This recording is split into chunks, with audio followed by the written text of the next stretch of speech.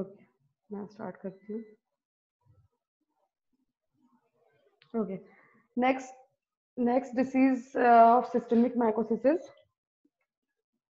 blastomycosis okay blastomycosis uh, is the disease uh, mainly who causes the disease in dog and also in human okay and there is a no transmission of the disease from one animal to another animal or one human to another human this uh, uh, mycos, that uh, fungus is present in the soil. Soil sap, it is a soil saprophyte or through the inhalation of the spores of the fungus, either human or animal can get the infection. Okay, it is caused by the blastomyces dermatitidis. Okay, and it is also known as the North American blastomycosis, mainly in Americas because it is mainly present in Americas. However it is present in other continent including india also. So based on that uh, it is also known as the north american blastomycosis it is also known as the chicago disease or gilchrist disease. So these are the other synonyms of the disease. Okay? This is also a dimorphic fungus. It shows a different morphology inside the body of the host or outside or, or in the soil. Okay and as i told you it's mainly affect the man and in animals it mainly affect the dogs and then cat okay? It is uh, as i told you this is this is present in various uh, area including asian countries americas and uh, in african countries okay? So uh, this means it is uh, distribution of the diseases worldwide okay and uh, mainly infection occurs through the inhalation of the spores and the high humidity and acidity of the soil or sandy soil uh, favors the growth of the fungus. So these are the normal uh, normal uh, characteristic of the fungus. Okay, it is dimorphic fungus mainly present in the soil. It is soil saprophyte. Infection occurs mainly through the inhalation of the spores, and mainly it affects the dog or cats and uh, human and human to human or animal to animal transmission is not occur in this case.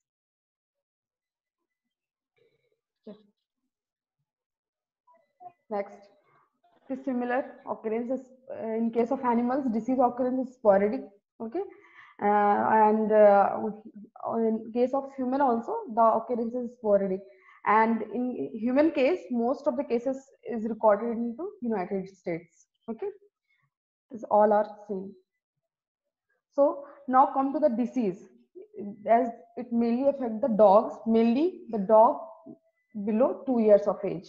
Okay, and uh, it mainly uh, clinical sign mainly uh, it shows the localized as well as the disseminated into uh, various uh, organ including skin. So mainly it uh, enters to the inhalation other, and also the disseminated to the various organ like lymph node, eyes, skin, bones. Okay, accordingly, it shows the symptoms.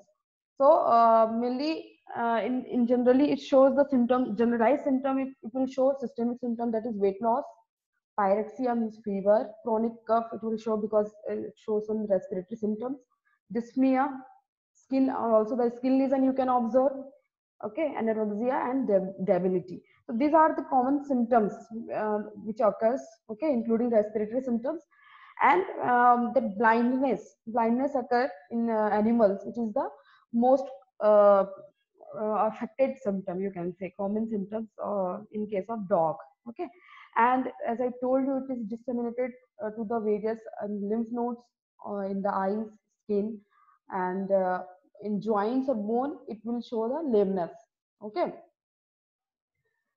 and in cats also it will show the similar type of the symptoms so here you can see the some skin lesion here uh, and also it will affect the eye and leads to the blindness in case of dog and cats. So these are the disease in case of dogs or uh, animals.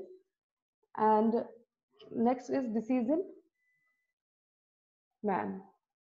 Okay, disease in man. Disease uh, as the disease uh, uh occur, occurrence is sporadic and uh, its uh, incubation period is long 21 to 106 days.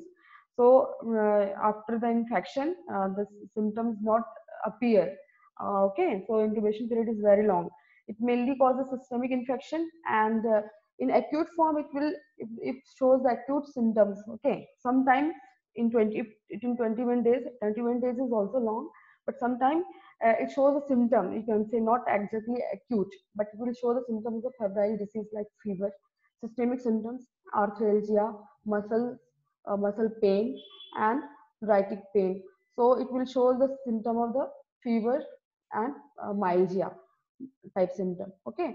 And uh, sometimes it, it will show the symptom of respiratory tract infection like dry cough and uh, start with dry cough but it may lead to hemoptysis chest pain and weight loss in long term okay?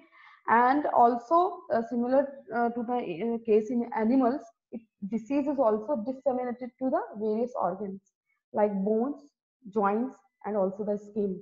And in when you see the cutaneous lesion it uh, it will show the two types of lesion some may be wart like it is known as the verruciform lesion okay? Wart like lesion uh, with borders and uh, sometimes this lesion is uh, uh, ulcerative. Ulcerative irregular shape scabby ulcer you will see. Uh, so this two type of cutaneous lesion you can see see if the disease is disseminated to the skin okay? Otherwise, it is uh, disseminated to bone, bones and joints, just like the animals.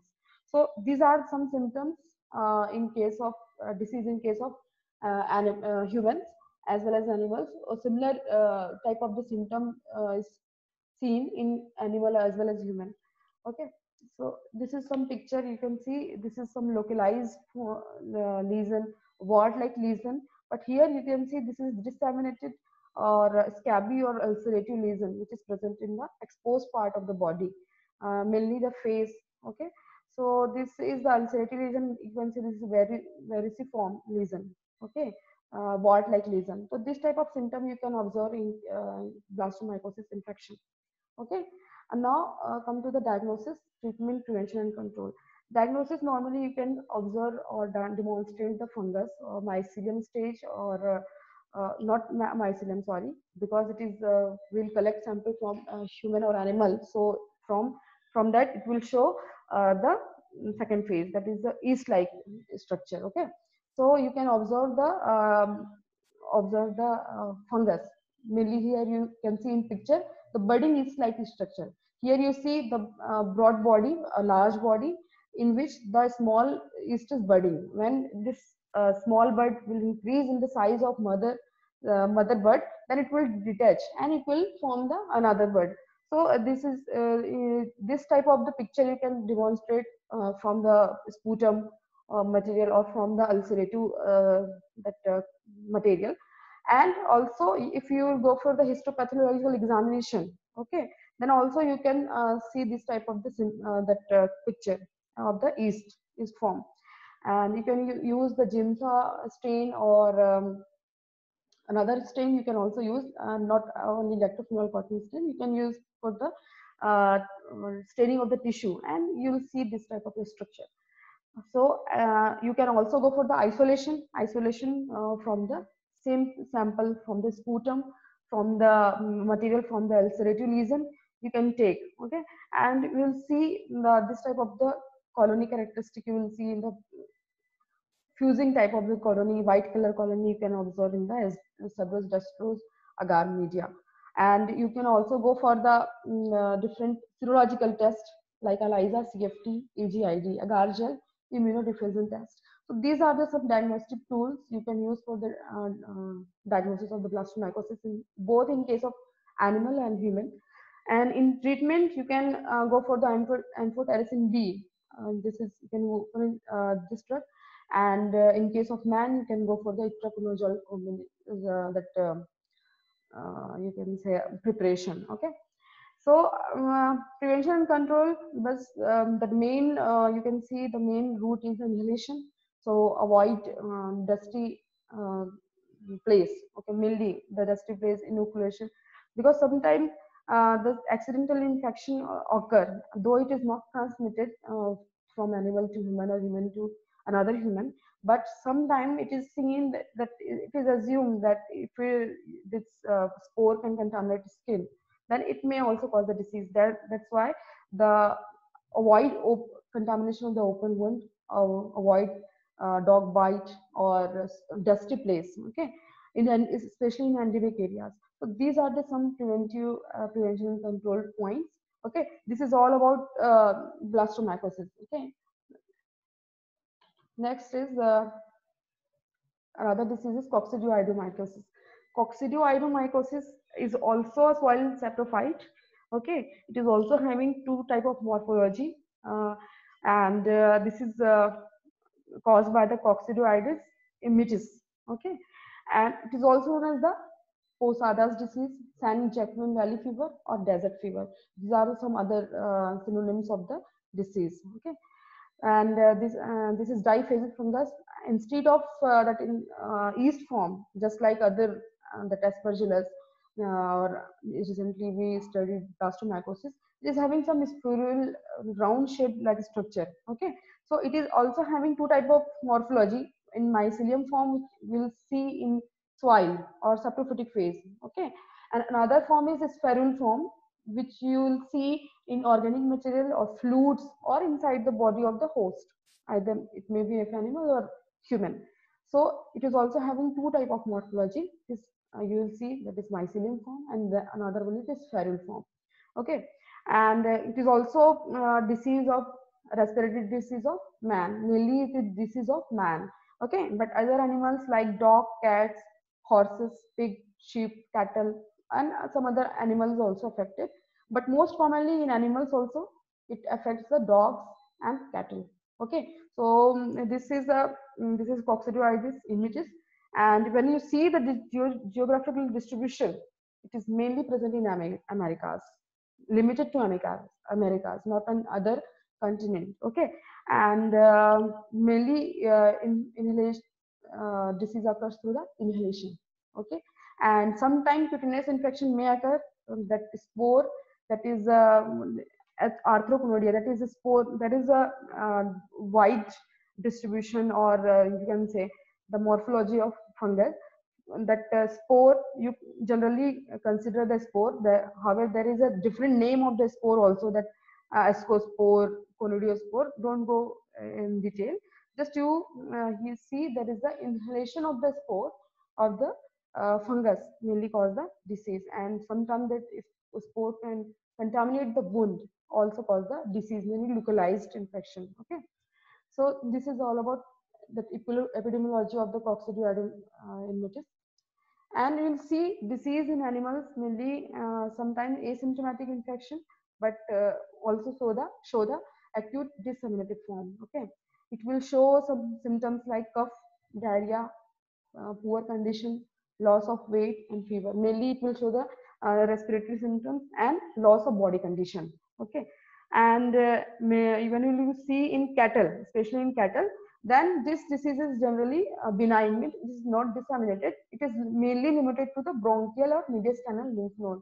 Means mainly it is uh, through the inhalation, but you will see the symptoms in bronchial and mediastinal lymph nodes okay and some sometimes very rare it may transmit to the lung lungs okay. It is not exactly in the lungs but in the uh, in some uh, lymph node only. Okay. And it may uh, disseminate to the lungs sometimes mm, or submaxillary or retropharyngeal lymph node. Mainly it affects the lymph nodes. Okay. And you'll see sometimes it will show the cutaneous lesion also in case of animal. Uh, but mainly it is uh, it will show a little symptom of uh, cough and loss of body condition. That's it. And cattle it is mainly localized in the lymph nodes. So in uh, case of man the disease is sporadic and you will see uh, the incubation period is four week approx one month okay? And most of the cases is asymptomatic. When you go for the intradermal test by the uh, coccid coccidine or uh, test that is a fungal extract when you inject through intradermal route it will show the some reaction or it will show the positive. But most of the cases 60% of the cases will see the asymptomatic. And about 40% case, cases it will show the influenza like symptoms. Okay? And chest, it will show the strong chest pain and pleuritic uh, lesion. Okay? And in immunocompromised patient it may the mortality rate is high in uh, it is seen. Okay and in this it is also disseminated uh, uh, in contrast to animal. Mainly it is disseminated to the cutaneous or subcutaneous lesion uh, portion okay skin mainly. So it will also uh, show the verruciform granulomatous lesion just like uh, uh, blastomycosis and it mainly it will observe on the face and some erythematous plaque-like lesion uh, or nodule it is also observed okay? So mainly in disseminated form it affects the skin mainly cutaneous and subcutaneous. And also it when it travels to disseminated to the bones it causes the osteo uh, actually this is osteomyelitis okay? Not meningitis it is osteomyelitis. And here it will show the symptom of meningitis. Uh, i will correct this one this is osteomyelitis myelitis and also uh, if the dissemination occurs in cns then it, it will show the meningitis like symptom. So this is disease uh, in case of man.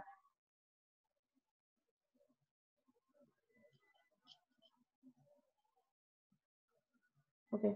This type of uh, lesion you can see okay this is erythematous lesion mainly uh, seen uh, erythematous plaque like symptom. Here you see very verruciform lesion uh, patches of wart like lesion uh, on the body.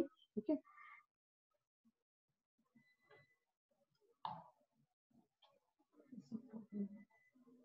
Okay. Now come to the diagnosis treatment prevention and control. Okay.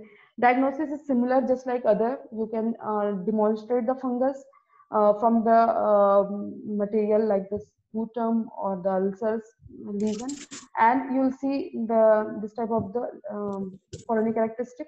And we'll uh, see the mi microscopic uh, under the microscope you will see in the spherule form that I have shown you. Spherule form you'll see in the um, tissues or in the uh, sputum or uh, material of the ulcers. Okay and you can go for the intradermal sensitivity test by the coccidioidin coccidioidin or uh, spherulin actually coccidioidin mainly the mycelial phase of fungus if you will inject or extract the mycelial phase that is known as the coccidioidin uh, if you you uh, you will use that parasitic phase of extract of parasitic phase then it is known as the spherulin so you can go for uh, the, the sensitivity test um, by using either mycelial phase or parasitic phase. Okay, and uh, uh, you can also use the serological test. Okay, this is ab about diagnosis. And similarly, you can use for uh, other, just like other systemic infection, you can use uh, amphotericin B, ketoconazole, itraconazole drugs and uh, similarly the contamination uh, that uh, we have to prevent the disease by prevention of the wound contamination avoid to go in the dusty environment and for you can uh, one vaccine is tried uh, that is forming inactivated spherule so it is under trial not in use especially in america because the disease is prevalent in america so they are trying exactly they are not this is not in a frequent use so this is all about diagnosis, treatment, prevention, control. And this is all about today's lecture. Okay, we covered two diseases, blastomycosis and coccidioidomycosis. Okay, so this is for today तो अगर आप लोगों को कुछ पूछना है, आप पहले का कुछ याद है?